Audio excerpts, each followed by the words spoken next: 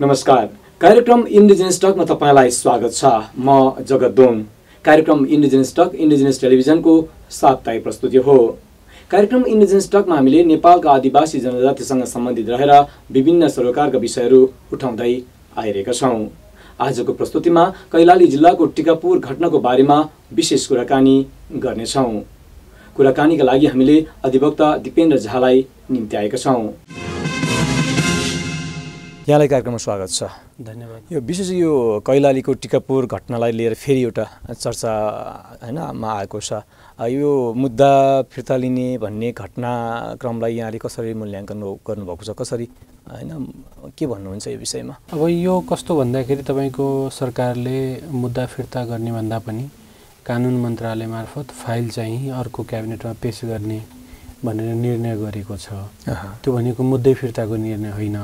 File क्याबिनेटमा अर्को क्याबिनेटबाट निर्णय गर्ने गरी भनेर गरेको छ। तर यसलाई चाहिँ विभिन्न खालका भ्रमहरू फैलाइयो कि अपराधीहरूको मुद्दा फिर्ता लिँदैछ भनेर।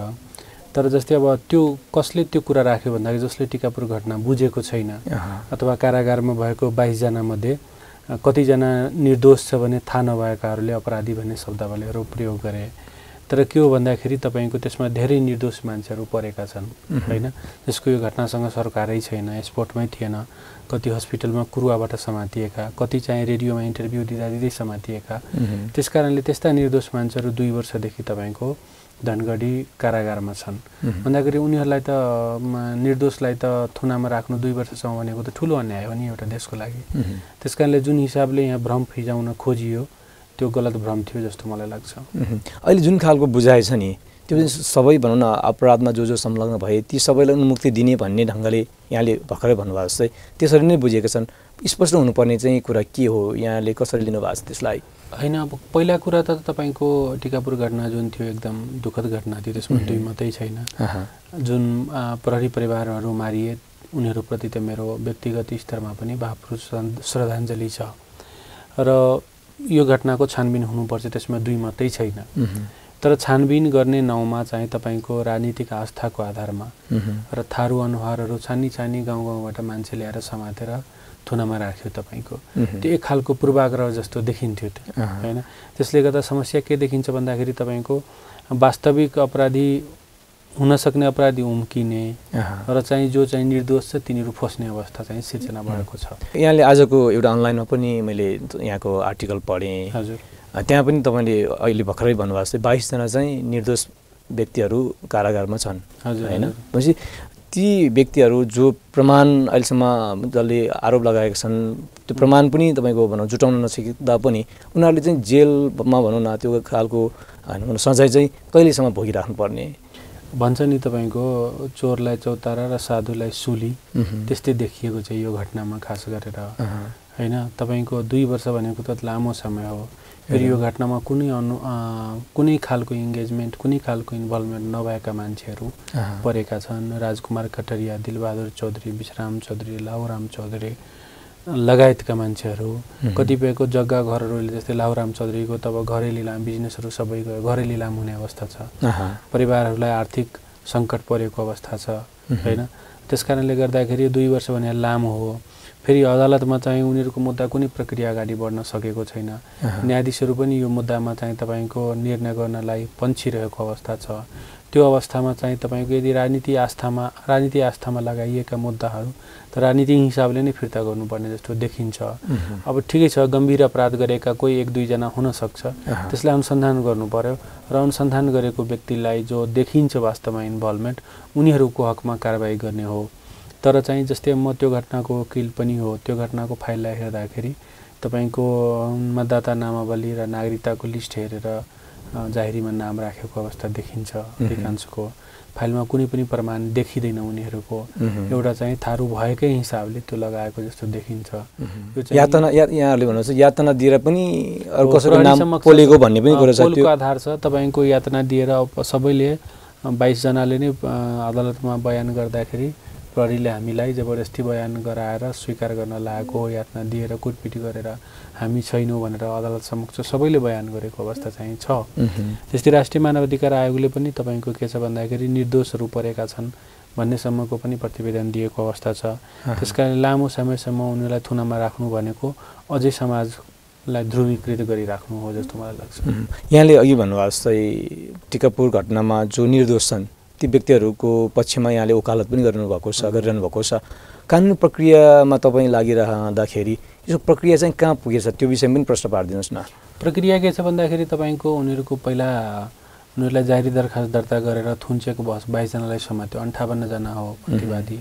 बाइसजना मात्रै सरकारले समात्न सकेको छ। त्यो बाइसजनालाई चाहिँ तपाईँको थुनामा राख्ने कि बाहिर राखेर अनुसन्धान गर्ने भनेर थुन्चेको बहस हुँदाखेरि जिल्ला अदालतले प्रमाणहरू राम्रोसँग नकेलाइकन उनीहरूलाई थुनामै राख्ने भन्ने आदेश गरिदियो। त्यो आदेश चाहिँ तपाईँको पुनरावेदनले पनि सदर गरिदियो र अस्ति भर्खर सर्वोच्चले पनि जिल्लाकोलाई सदर गरिदियो सुरु सदर नै गर्यो। भन्दाखेरि अब उनीहरू थुनैमा बस्नुपर्ने अवस्था देखिएको छ मुद्दा टुङ्गो नलाग्दा। भन्दाखेरि यता मुद्दा टुङ्गो नलाग्ने उता थुनामा राख्नुपर्ने भनेर अदालतले आदेश गरिदिएपछि अब उनीहरू त अन्यलतामा हुने भयो। कि त मुद्दा टुङ्गो लगाइदिनु पऱ्यो छिटो। कि त वैज्ञानिक अनुसन्धान गर्नुपर्ने देखियो। भन्दाखेरि तपाईँको टिपा टिकापुर घटनामा मूल के देखिन्छ भन्दाखेरि वैज्ञानिक अनुसन्धानको र वैज्ञानिक निष्पक्ष र विश्वसनीय अनुसन्धानको कमी देखिन्छ। किन भन्दाखेरि यो घटनाको पुलिस आफैमा एक एउटा पक्ष हो। अनि उसैले अनुसन्धान गर्छ ऊ इमोसनल अनुसन्धान गर्छ। होइन? भन्दाखेरि आफ्नो मुद्दामा आफै न्यायाधीश हुने सर जस्तै हो त्यो। टिकापुर घटना राजनीतिक घटना अथवा के भनेको र बहस एकातिर होला? यहाँले जसरी कानुनी रूपमा न्याय दिलाउनको निम्ति जो निर्दोष छन् हजुर। ती व्यक्तिको व्यक्तिलाई न्याय दिलाउनको निम्ति जसरी भूमिका खेलिरहनु भएको छ। अहिले यहाँको कुरा सुन्दाखेरि भनौँ न अदालत पनि त्यसरी पूर्वाग्रह ढङ्गले नै अगाडि बढेको हो भन्न सक्छौँ। त्यसो हुँदाखेरि त्यो जिल्लामा त्यस्तै छ वातावरण अखण्ड एरियामा चाहिँ तपाईँको एक खालको डोमिनेसन देखिन्छ यसमा फेरि। अदालतमा पनि? कानुन पूर्ण रूपेण मैले अदालतलाई अब त्यो निष्पक्ष नभएको भन्न सक्ने अवस्था त हुँदैन। तर कुनै न कुनै हिसाबको पूर्वाग्रह राज्यका सबै संयन्त्रमा देखिन्छ। त्यसबाट अछुतो हामीले न्यायालयलाई कति राख्न सक्छौँ त्यो हाम्रो चुनौतीपूर्ण अवस्था चाहिँ छ तर एक खालको पूर्वाग्रह थारूहरूप्रति त्यो एरियामा सबै इन्स्टिट्युसनमा देखिन्छ। तब त्यसको अर्को उपाय के हुनसक्छ भन्दाखेरि उनीहरूको मुद्दालाई सार्ने के? जस्तै स्थानान्तर गरेर सुनवाई गर्ने। जसले गर्दा निष्पक्ष सुनवाई हुन सक्ने वाता कुनै खालको इन्फ्लुएन्स नहुने गरी निष्पक्ष सुनवाईको वातावरण हुने गरी त्यो पनि सुनिश्चित गर्न सकिन्छ। तर अहिले समस्या के देखियो भन्दाखेरि अब त उनीहरूको मुद्दाको कुनै प्रक्रिया अब के छ भन्दाखेरि अन्ठाउन्नजना प्रतिवादी छ त्यसमध्ये बाइसजना मात्रै समातिएको छ अब तिनीहरू सबै हाजिर नभइकन मुद्दा अगाडि बढाउँदैन। बयान साइन केही गराएको छैन त। केही प्रक्रिया दुई वर्ष भइसक्यो तपाईँको। अब दुई दुई वर्षसम्म मान्छे थुनामा छ त्यसरी असंवेदनशील भएर बस्न त मिल्दैन अदालत पनि। त्यस कारणले कहीँ न कहीँ तपाईँको प्रशासनिक कमजोरी पनि अदालतभित्र देखिन्छ। अहँ। उहाँहरूले भनौँ न कहिलेसम्म न्याय पाउने त जस्तो दुई वर्षसम्म त्यत्तिकै बस्नु परेको अवस्था छ। मानसिक रूपमा आर्थिक रूपमा सबै चिजले होइन पीडित पनि होलान्। भने ती व्यक्तिहरू जो चाहिँ अहिले भित्र छन् ती व्यक्तिहरू कहिलेसम्म यसरी बस्नुपर्ने अवस्था आउन सक्छ? अब यस्तो छ तपाईँको उहाँहरू कहिलेसम्म भित्र बस्न सक्ने अवस्था अहिले भन्न गाह्रो छ। किन भन्दाखेरि मुद्दा फिर्ता नगर्दै फाइल मात्रै झिकाउने तपाईँको क्याबिनेटले निर्णय गर्दाखेरि त्यत्रो स्याल हुइया भयो। होइन? कोलाहाल नै भयो। कि मुद्दा फिर्ता गर्न थाल्यो भनेर एक खालको भ्रमहरू फैलाइयो। भन्दाखेरि पुरै राज्य संयन्त्र सञ्चार माध्यम र यहाँको नागरिक समाज अलि डोमिनेटिङ नागरिक समाजहरू सबै चाहिँ त्यो एगेन्स्टमा देखिन्छ। अ, अपराधी अब म उहाँहरूलाई पनि के भन्न चाहन्छु भन्दा- भन्दाखेरि अपराधीले मुक्ति पाउनु हुँदैन भन्ने कुरामा दुई मात्रै छैन। तर निर्दोषले पनि सजाय पाउनु हुँदैन त्यो कुरा पनि विश्वास गर्नु पऱ्यो नि। होइन? र त्यस्तै तपाईँको जति बेला त्यो घटना घटिसकेपछि जुन थारू समुदायका घरहरू छानी छानी जलाइयो रेशम चौधरीको घर जलायो निरु ट्रेडर्स जलाइयो भन्दाखेरि उनीहरूको पक्षमा कहिले बोलेको छ त? हामीले कहिले कुरा उठाएका छौँ त आफैलाई पनि प्रश्न गर्नुपर्ने अवस्था छ। त्यस्तै उनीहरूको घर आगजनी लुटपाट भएको जाहेरी चाहिँ अहिलेसम्म पनि प्रहरीले दर्ता गरेको अवस्था चाहिँ छैन। भन्दाखेरि उनीहरूको जाहेरी किन दर्ता भएन भन्ने प्रश्न हामीले कहिले सोध्न सक्यौँ त? भन्दाखेरि यी आदि प्रश्नहरू अझै पनि अनुत्तरित छन्। र तपाईँको सिलेक्टिभ प्रोसिक्युसन भन्छ एक पक्षीय अभियोजन। अभियोजन भनेको एक पक्षीय हुँदैन। मानवाधिकार भनेको पनि सिलेक्टिभ हुँदैन। त्यसलाई समग्रमा हेर्नुपर्ने अवस्था हुन्छ। त्यस कारणले अपराधिक घटनाले राजनीतिक रङ्ग पाउनु हुँदैन भन्ने कुरामा दुई मात्रै छैन। तर अपराधी को भन्ने कुरा त अदालतले टुङ्गो लाउने होला नि। त्यसको प्रक्रिया होला। हामीले अहिले भन्ने भनेको अनुसन्धान फिर्तलो नहोस् विश्वसनीय अनुसन्धान होस् निर्दोष कोही नपरोस् र दोषी कोही नछुटोस्। भन्ने हिसाबले हामीले भन्यो भने त्यो सन्तुलित हुन्छ र तर अहिले कारागारमा भएको सबै अपराधी हुन् भन्ने हिसाबले जसरी बाहिर समाचारहरू आयो स्टेटमेन्टहरू आयो त्यो साह्रै नै खेदजनक र मानवाधिकार कानुनी शासनको मान्यता विपरीतको त्यो स्टेटमेन्ट हो। प्रधानमन्त्री स्वयंले पनि प्रश्न पाइसक्नु भएको जस्तो लाग्छ। जो निर्दोष छन् ती निर्दोषको लागि मात्रै मुद्दा फिर्ता लिने हो। अरू जो अपराधमै संलग्न छन् त्यसलाई होइन भन्ने खालको कुरा होइन प्रश्न पार्दा पार्दै पनि जुन ढङ्गलको हुइम चाहिँ फैलाएको छ चलाएको छ यो नियत बसै हो भन्ने कुरा हो तपाईँहरूको? हो तपाईँको के देखिन्छ भन्दाखेरि यसको मूल कारणमा जानुपर्ने प्रधानमन्त्रीजीको आज बिहान कान्तिपुरमा पत्रिकामा इन्टरभ्यू छ र उहाँले पनि यो कुरालाई भन्नुभएको छ कि हामीले सबै मुद्दा फिर्ता हुन गर्न थालेको होइन। जो निर्दोष छन् जसलाई राजनीतिक आस्थामा लगाइएको छ घटनामा कुनै सरकार नभएको मान्छेहरूको मुद्दा हामीले फिर्ता गर्ने हो। र अहिलेको सर्वोच्चको तिनवटा आदेश छ र मुद्दा फिर्ती सम्बन्धी कार्यविधि दुई हजार एकहत्तरी छ। त्यसले पनि सबै मुद्दा फिर्ता गर्ने अलाउ गर्दैन। मुद्दा फिर्ता गर्नको लागि पनि तपाईँको के छ भन्दाखेरि सबै मुद्दाको केस बाई केस आधार र कारण खुलाउनु पर्ने हुन्छ। त्यस्तै तपाईँको गम्भीर प्रकृतिका मुद्दाहरू जस्तै यातना बलात्कार हत्या लगायतका मुद्दाहरू फिर्ता हुन सक्दैन।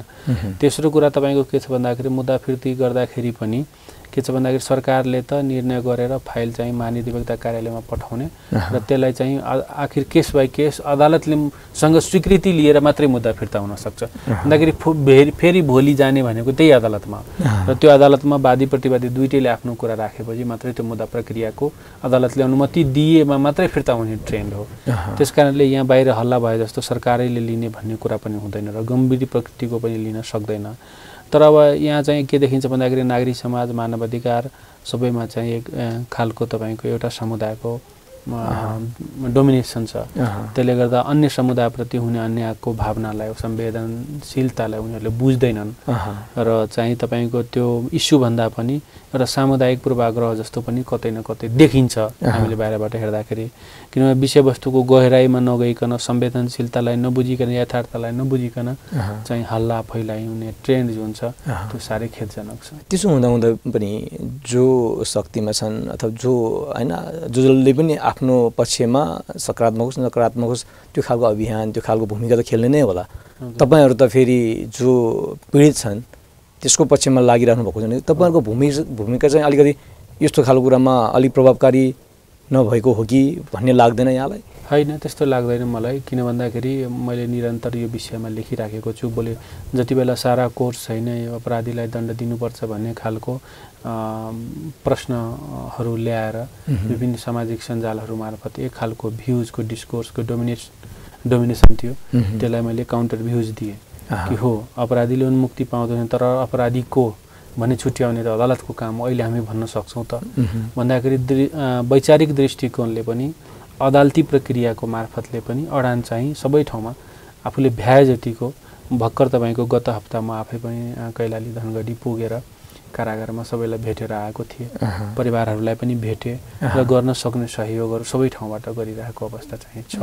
जति मेरो बलबुताले भ्याउँछ त्यही भएर मैले त्यसलाई कमजोरी भन्दा पनि जति सकिन्छ त्यति गरिरहेको रूपमा मैले लिन्छु त्यसलाई। यहाँ अघि भन्नुभएको जस्तै एउटा तब्का चाहिँ एकदम पूर्वाग्रह ढङ्गले पनि यो घटना होस् अथवा अरू कुरामा जो चाहिँ विभिन्न सवालमा कमजोर छन् ती समुदायको विरुद्धमा लागेको जस्तो देखिन्छ एक एक हिसाबले हेर्दाखेरि। मानव अधिकार आयोग लगायतकोले जो जसले जुन जुन संस्था नागरिक समाज होस् अथवा मानव अधिकार आयोग होस् ती संस्थाले जसरी प्रेस विज्ञप्ति मार्फत यो सरकारको निर्णयको प्रक्रियालाई जसरी विरोध जनाए यसलाई के पूर्वाग्रह ढङ्गले अथवा नियत बसै त्यसरी आएको हो भन्न सक्छौँ त्यसो हो भने हामीले हो त्यसमा यस्तो छ तपाईँको यहाँको मानव अधिकार भन्ने बित्तिकै एकल जातीय वर्चस्व छ। होइन? भनाइदियो कि तपाईँको देउताको घरमा पापी छिर्न सक्छ। तर मानव अधिकारमा मधेसी जनजातिहरू छिर्न सक्दैन भन्ने। नेपालको अवस्था त्यस्तो छ। भन्दाखेरि तपाईँको देउता घरमा बरु पापीलाई अलाउ छ तर मानव अधिकारमा हामीलाई अलाउ छैन। हामी अछुतो हो मानव अधिकार त्यही भएर अब त्यस्तो छ तपाईँको एकल जातीय हुँदाखेरि तपाईँको के छ भन्दाखेरि उसले अल्टिमेटली आफ्नो सामुदायिक वर्चस्व र निरन्तरतालाई केन्द्रबिन्दुमा राखेर सबै कुरा सोचिरहेको हुन्छ। तर यो देश भनेको भौगोलिक रूपले सामुदायिक रूपले विविधतापूर्ण छ। सबैको संवेदना र सबैको समस्यालाई बुझ्न सक नसकेको अथवा सबैलाई प्रतिनिधित्व गराउन नसकेको जुन कलरफुल हाम्रो डेमोग्राफी छ यहाँको जनसङ्ख्याको बनोट छ। त्यो कलरफुल मानवाधिकार र नागरिक समाज हुन नसकेको कारणले पनि त्यसको प्रभाव कतै न कतै दृष्टिकोण किन भन्दा सामाजिक पृष्ठभूमिले गर्दाखेरि मान्छेलाई दृष्टिकोणलाई गाइड गरिरहेको हुन्छ। पारिवारिक पृष्ठभूमिले गाइड गरिरहेको चाहिँ हुन्छ। मलाई लाग्छ त्यो त्यो चाहिँ त्यसको पनि प्रभाव हो। यहाँले सुरुमै भन्नुभएको जस्तै अदालत पनि होइन आदिवासी जनजाति भनौँ न प्रष्टै भन्दाखेरि थारू समुदायप्रति सकारात्मक देखिएन होइन। यहाँको नागरिक समाज मानवाधिकारवादी सङ्घ संस्था कोही पनि सकारात्मक नदेखेको अवस्थामा जो पीडित छन् ती पीडित समुदायले अथवा व्यक्तिले चाहिँ न्याय चाहिँ कसरी पाउने त त्यसो हो भने? अब यस्तो छ अदालत पूर्वाग्रही भन्दा पनि त्यहाँ प्रशासनिक क्रिया जुन अदालतको प्रशासनिक प्रक्रिया छ त्यसमा पूर्वाग्रह देखिन्छ। मैले त्यो भन्न खोजेको त्यो प्रश्नबारे मैले। किन भन्दाखेरि बयान नगराउने टाइममा चाहिँ मुद्दा दुई वर्षदेखि पेन्डिङमा छ अभियसली हो। अब तर तर तपाईँले भनेको कुरामा म के सहमत छु भन्दाखेरि पुरै राज्य संयन्त्र नै तारोप्रति त्यो एरियामा एक खालको पूर्वाग्रही रूपमा प्रस्तुत भएको अवस्था चाहिँ हो। अब त्यस्तो ठुलो एउटै समुदायको जस्तै भनौँ सेना प्रहरी राज्य कर्मचारी मिडिया सबैमा वर्चस्व भइसकेपछि अब थारू समुदायहरूले न्याय पाउने अवस्था कति रहन्छ त? भन्ने आफैमा प्रश्न चिन्ह छ। तपाईँ हुनुहुन्छ म छु उनीहरूको सहयोगी हातहरू पनि त छन् हामी पनि छौँ। तर अब भन्यो भने जनसङ्ख्याको हिसाबले त मधेसी र आदिवासी जनजातिलाई जोड्ने हो भने त्यो देशको दुई तिहाई जनसङ्ख्या हामी त सत्तरी प्रतिशत हो। तर शासन सत्तामा मात्रै पहुँच नभएको। सत्तरी प्रतिशतलाई दुःख दिएर त यिनीहरू पनि सुखमा बस्न सक्दैनन् देश अगाडि बढ्न सक्दैन। त्यो पनि एउटा वास्तविकता चाहिँ हो। अघि पनि यहाँले एकजना व्यक्तिको नाम पनि उल्लेख गर्नुभएको थियो त्यहाँ रेशम चौधरीको। उहाँको एफएममा पनि आग लागि भएको होइन अवस्था थियो त्यो बेलामा। अहिले पनि उहाँ भनौँ बाहिर। बस्नुपर्ने अवस्था छ। थुप्रै थारू समुदाय थारू व्यक्तिहरू त्यसरी लु लुकेर हिँड्नुपर्ने अवस्था छ। कहिलेकाहीँ सामाजिक सञ्जाल मार्फत उहाँको अभिव्यक्ति पनि हामीले सुन्न पाएका छौँ होइन? भन्दाखेरि उहाँहरू अब कहिलेसम्म भनौँ न यसरी लुक्दै हिँड्नुपर्ने अवस्था होला र भनौँ उहाँहरूले अघि नै भने जस्तै सही ढङ्गले अथवा त्यो न्याय चाहिँ पाउने सम्भावना छ। अब यस्तो छ तपाईँको यो मुद्दालाई या त वैज्ञानिक अनुसन्धान गरेर एउटा टुङ्गोमा लगाउनु पर्यो निष्पक्ष हिसाबले अनुसन्धान हुने गरी होइन भने राजनीतिक हिसाबले यसलाई डिल गर्नु पर्यो। र अदालती प्रक्रिया अनुसार गर्ने हो भने पूर्ण निष्पक्ष हुने अदालत हुनु पर्यो। होइन त्यो वातावरण यो तिनवटा हिसाबले पनि जुन सजिलो हुन्छ बाटो। त्यस्तै एउटा आयोग पनि सरकारले बनाएको छ आयोगले पनि के भन्छ हेरौँ होइन? र समय लाग्ने अवश्य नै यसमा तपाईँको अहिले मुद्दा फिर्ता हुन सकेन भने खास गरेर निर्दोषहरू जो थुनामा छन् दुई वर्षदेखि उनीहरूलाई साह्रै अप्ठ्यारो पर्छ। र कतिपय जुन बाइसजना बाहेक जुन फरार छन् फरारहरू पनि घर परिवार सबै छोडेर भागिरहेको अवस्था चाहिँ छ।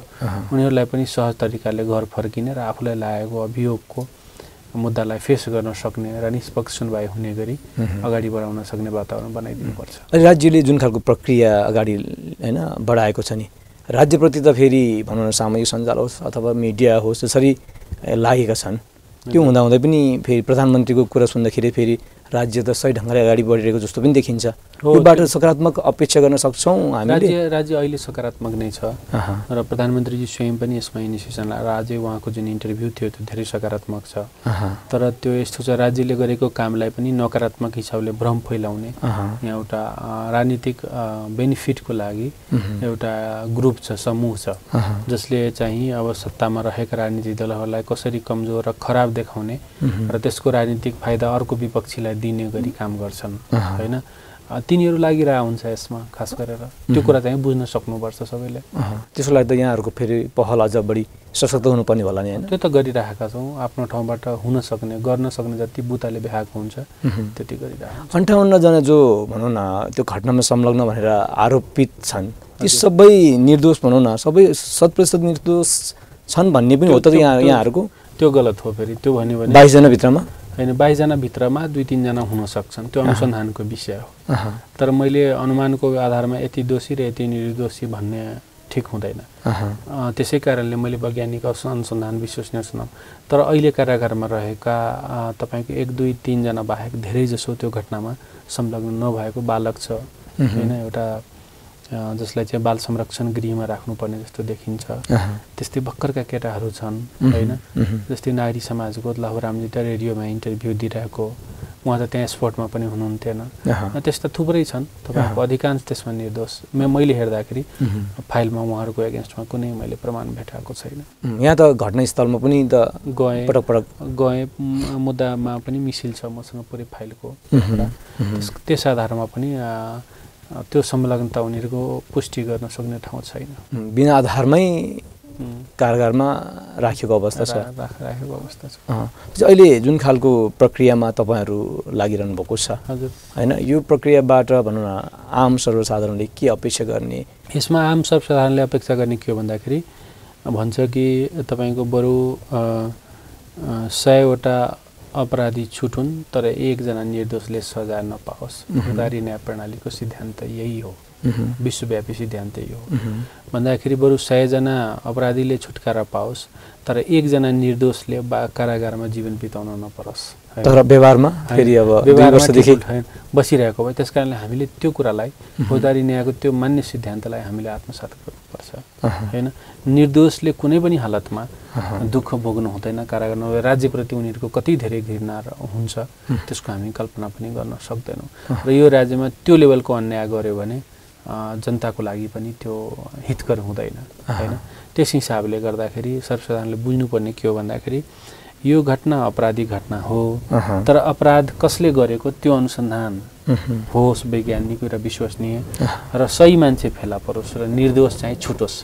भन्ने खालको हिसाबले त्यसो भन्दा भन्दा फेरि दुई वर्ष बितिसकेको अवस्था छ। जो जसको प्रमाण पनि पुगे पुगेको छैन। तैपनि भित्र बस्नुपर्ने अवस्था छ। यी व्यक्तिहरू निर्दोष साबित भयो भने भोलि. तपाईँहरू जसरी लडिरहनु लडिरहनु भएको छ। त्यो त ठुलो क्षतिपूर्ति राज्यले तिर्नुपर्ने हुन्छ। उनीहरूको क्षतिको त कुनै राज्यले ठुलो क्लेम गर्न सक्छन् उनीहरू किन भन्दाखेरि परिवार छोडेको छ शिक्षा छोडेको छ रोजगारी छुटेको छ। भन्दाखेरि भोलि र मैले देखेको त्यसमा अधिकांश चाहिँ निर्दोष प्रमाणित हुन सक्ने केही दुई तिन चारजना बाहेक अहँ। हुन सक्ने सम्भावना स्ट्रङ छ। क्षतिपूर्तिमा के के पाउन सक्छ उहाँहरूले? अब त उहाँहरूलाई कति ड्यामेज भएको छ त्यो अनुसारको गर्न सक्छ। तर क्षतिपूर्तिकै कुरा गर्दाखेरि नि जसरी मानसिक रूपमा त्यो त अब ठुलै गर्ला नि त त्यो तपाईँको होइन। ठुलै गर्न सक्छ। भोलि हामी त्यो त्यो केस पनि जान्छ अदालतमा अभियसली जान्छ। मानसिक रूपमा मैले भन्नु मानसिक रूपमा जुन खालको पीडा भोगे नि त्यहाँको थारू समुदायले त्यसको पनि कुनै क्षतिपूर्तिसँग दाँच्न मिल्ला र भनेको? अनि क्षतिपूर्ति आ, लाई त्यति मात्रै भन्दैनौँ हामीले परिपूरण भन्छौँ त्यो शब्दावली परिपूरण भनेको के हो भन्दाखेरि तपाईँको पैसा र भौतिक कुरा मात्रै होइन। मानसिक क्षति क्षतिको पनि अनुमान गरेर त्यसलाई कसरी मानसिक रूपमा परेको प्रभावलाई कम गर्नलाई सामाजिक मनोवैज्ञानिक परामर्शदेखि लिएर पीडितको कन्फिडेन्सलाई कसरी बढाउने त्यो। आदि कुराहरू त्यो प्याकेजमा आउँछ त्यस कारणले त्यसलाई क्षतिपूर्ति भन्ने भन्दा पनि मैले त्यसलाई परिपूरण भन्दाखेरि त्यो पहिलाकै अवस्थामा फर्काउनको लागि। के गर्नुपर्छ ती सम्पूर्ण उपायहरू अपनाउने शब्दावली म प्रयोग गर्छु पक्कै पनि अहिले यो टिकापुर घटना जुन दुःखद घटना घटे। नेपालको राजनीतिक इतिहासमा त्यसको छानबिन त्यसको मूल्याङ्कन आफ्नोमा होला कुनै बेला तैपनि अहिले जुन खालको बहस टुङ्गिरहेको छैन नि। यसको पनि त सेफ ल्यान्डिङ कतै न कतै लगेर गर्नुपर्ने होला। यसको सेफ ल्यान्डिङ चाहिँ के देख्नु भएको छ? यहाँ भने अघि भन्नुभएको जस्तो न्यायपूर्ण ढङ्गले जुन खालको अनुसन्धान हुनुपर्ने वैज्ञानिक अनुसन्धानको कुरो पनि यहाँले उठाउनु भएको छ। यसको सेफ ल्यान्डिङ चाहिँ के देख्नु भएको छ यहाँले? यसको सेफ ल्यान्डिङ के हो भने बिना पूर्वाग्रह अनुसन्धान हुनु पर्यो। इन्डिपेन्डेन्ट इन्स्टिट्युसनले त्यसको अनुसन्धान गर्नु पर्यो। र त्यो त्यो दिन टिकापुरमा घटेको घटनामा कसको इन्भल्भमेन्ट छ त्यो फाइन्ड आउट गर्नु पर्यो। र जसको इन्भल्भमेन्ट छ जो प्रत्यक्ष रूपमा इन्भल्भमेन्ट छ तिनलाई कारवाही गर्नु पर्यो। र नभएको मान्छेहरूलाई थारू भएकै हिसाबले। पूर्वाग्रहको आधारमा लगाइएको मुद्दा जुन छ त्यसलाई इमिडिएटली त्यसलाई उनीहरूलाई फ्री गर्नुपर्छ भन्ने म एकदम क्लियर छु म त्यसमा। तपाईँ एकजना न्यायकर्मीको नाताले हजुर। त्यो घटनालाई मूल्याङ्कन गर्नु पर्यो भने हजुर। कसरी गर्नुहुन्छ अब त्यसो भने? त्यो अब यस्तो त्यो राजनीतिक आन्दोलन थियो होइन? राजनीतिक त्यो दिन खास गरेर थरुवट प्रदेश लेख्ने भन्ने कार्यक्रम थियो। राजनीतिक आन्दोलनमा केही मान्छेले मौका छोपेर षड्यन्त्रपूर्वक तरिकाले त्यसलाई चाहिँ आपराधिक स्वरूप दिन रङ दिन खोजे र गरे पनि त्यसमा सफल पनि भयो त्यो साह्रै खेदजनक चाहिँ काम हो। नभए अहिलेसम्म थारू मुभमेन्टको उचाइ कति माथि पुगिसक्थ्यो त्यो घटना नघटेको भए। कुनै न कुनै हिसाबले त्यो आन्दोलन तुहाउनको लागि यो चाहिँ केही मान्छेले गरेको जस्तो देखिन्छ मैले अहिले थारू आयोग जसरी बने थारूलाई आदिवासी जनजाति सँगसँगै आदिवासी जनजाति अनि थारू भनेर जसरी राज्यले अहिले सम्बोधन गरिरहेका छन् त्यो भनौँ न आन्दोलन त्यो घटनाकै कारणले पनि थारू समुदायलाई त्यसरी सम्बोधन गर्न बाध्य चाहिँ राज्य भए जस्तो पनि लाग्दैन यहाँलाई। होइन त्यो त अब जस्तै तपाईँको सङ्घर्षको परिणाम त केही उपलब्धि त भइ नै हाल्छ। त्यही भएर संविधानमा एउटा छुट्टै क्लस्टर सुन्ने नै भएको त होइन नि शून्य त छैन। क्लस्टरै थारू क्लस्टर नै ल्याएको अवस्था छ जुन आफैमा सकारात्मक छ। थारू आयोगको व्यवस्था गरेको छ। तर मूल चाहिँ उनीहरूको माग नै तपाईँको थरुवाट प्रदेश। प्रदेशको माग चाहिँ हो। त्यो एड्रेस हुन सकेको चाहिँ छैन। त्यस कारणले अझै पनि आन्दोलित चाहिँ त्यो कारणले जुन मूल एजेन्डा थियो त्यो एड्रेस नभएको हुनाले अझै पनि आन्दोलित चाहिँ देखिन्छ। भनेको त्यहाँको थारू समुदायको अवस्था चाहिँ कस्तो पाउनु भएको छ यहाँले? त्यसो हो भने त्यहाँ फेरि आन्दोलनै गर्नुपर्छ भन्ने होइन? आन्दोलित हुने सम्भावना जुन कुरा गर्नु पनि यहाँले। होइन यस्तो छ तपाईँको अहिले अब सप्रेष्ट अवस्थामा छ। त्यो आन्दोलन तपाईँको एकदम दमित भइसकेको अवस्था छ। त्यही भएर तत्कालै नउठे पनि अब छिटफुट घटना छिटफुट आन्दोलन होला। तर समय त लाग्छ फेरि आन्दोलनले रिभाइभ गर्नको लागि पुनर्जीवन दिनको लागि फेरि अलिकति समय लाग्न सक्छ। त्यो यसै सहजै अनुमानको आधारमा यति उति भन्न सक्छ। आन्दोलन कुनै पनि बेला हुनसक्छ अथवा वर्षौँ नहुन सक्छ। अहँ। दुइटै सम्भावना छ। यो आन्दोलनहरू एकातिर होला। यहाँले जसरी त्यहाँमा अन्यायमा परेका थारू समुदाय होस् अथवा अरू समुदाय जो घटनामा संलग्नको नाममा त्यहाँ कारागारमा बसिरहेको अवस्था छ। ती व्यक्तिहरूको न्यायको निम्ति यहाँ लडिरहनु भएको लडिरहनु भएको छ नि। भनेपछि अन्तिममा चाहिँ उहाँहरूले भनौँ न यहाँ यहाँहरू जसरी लागिरहनु भएको छ जुन अभियान यहाँहरूले सञ्चालन गर्नु गरिरहनु भएको छ ती निर्दोष व्यक्तिहरूले कहिलेसम्ममा चाहिँ न्याय पाउने सम्भावना छ? अब अन्तमा। तपाईँको खास गरेर अब सरकारले फाइल झिकाउने भनेको छ अर्को क्याबिनेटको मिटिङबाट। निर्णय गर्ने भनेको छ तर त्यो निर्णय गर्न त्यति सजिलो छैन। फेरि सरकार परिवर्तनको कुरा होला फेरि? लामो प्रक्रिया छ झन्झिटिलो प्रक्रिया छ। मुद्दा फिर्तीको कार्यविधि सर्वोच्च अदालतले कम्प्लिकेटेड बनाएको छ। त्यही भएर दसैँ दिनमा होला सातै दिनमा होला भनेर भन्न सक्ने अवस्था कम छ। आशा गरौँ नेक्स्ट क्याबिनेटले गर्ला। उहाँहरूको परिवारलाई कुनै आश्वस्त तुल्याउन सक्ने स्थिति? छैन अहिले। भनेपछि अन्यलमै रहने हो। एनुअलमै देखिन्छ। हुन्छ दिनु सर। तपाईँको महत्त्वपूर्ण विचार र समयको लागि धन्यवाद छ। बोलाउनु भयो त्यसको लागि यहाँलाई पनि धन्यवाद। हुन्छ हस् त। उहाँ हुनुहुन्थ्यो अधिवक्ता दिपेन्द्र झा। दिपेन्द्र झासँग कैलालीको घटनासँग सम्बन्धित रहेर विशेष कुराकानी प्रस्तुत गऱ्यौँ। उहाँसँगको प्रस्तुति तपाईँलाई कस्तो लाग्यो? तपाईँको सल्लाह सुझाव र प्रतिक्रियाको लागि हाम्रो ठेगाना हो। कार्यक्रम indigenous talk post box number तेह्र चार सय एकसट्ठी काठमाडौँ नेपाल। यस ठेगानामा तपाईँको सल्लाह सुझाव र प्रतिक्रिया आउने आशा गर्दै आजको इन्डिजिनियस टकबाट हामी सबै बिदा चाहन्छौँ। नमस्कार।